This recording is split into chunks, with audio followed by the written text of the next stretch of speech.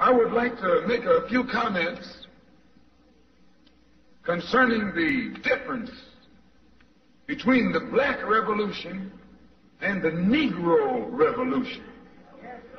There's a difference. Are they both the same? And if they're not, what is the difference? What is the difference between a black revolution and a Negro revolution? First, what is a revolution? Sometimes I'm inclined to believe that many of our people are using this word revolution loosely without taking careful consideration what this word actually means and what its historic characteristics are. When you study the historic nature of revolutions, the motive of a revolution, the objective of a revolution, and the result of a revolution, and the methods used in a revolution, you may change words. You may devise another program. You may change your goal and you may change your mind.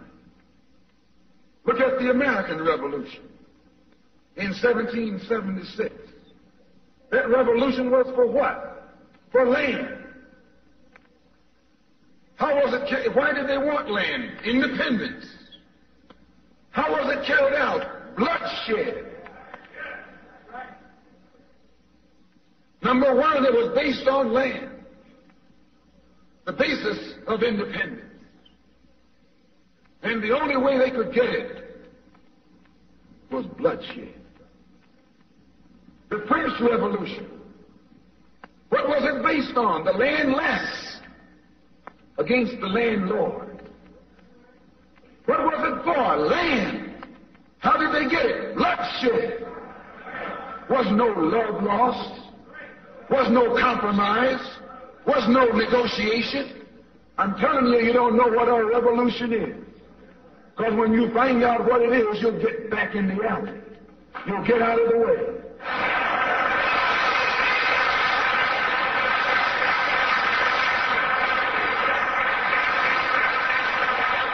The moment, the Russian Revolution. What was it based on? Land. The landless against the landlord. How did they bring it about? Bloodshed. You haven't got a revolution that doesn't involve bloodshed. And you're afraid to bleed. I said you're afraid to bleed. Long as the white man sent you to Korea, you bled. He sent you to Germany, you bled. He sent you to the South Pacific to fight the Japanese, you bled. You bleed for white people.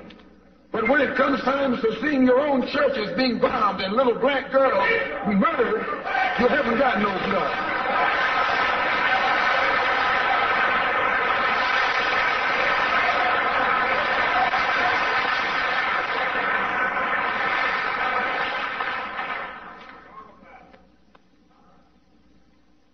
You bleed when the white man says bleed. You bite when the white man says bite. And you bark when the white man says bark. I hate to say this about us, but it's true. How you going to be nonviolent in Mississippi as violent as you were in Korea?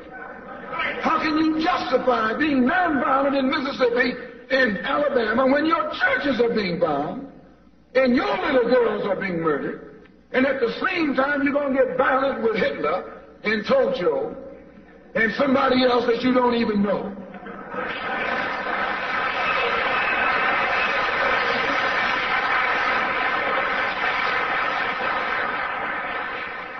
If violence is wrong in America, violence is wrong abroad.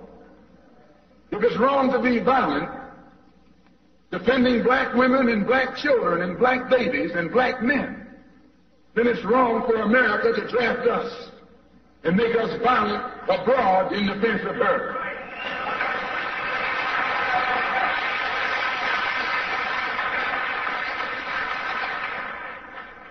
And if it is right for America to draft us and teach us how to be violent in defense of her, then it is right for you and me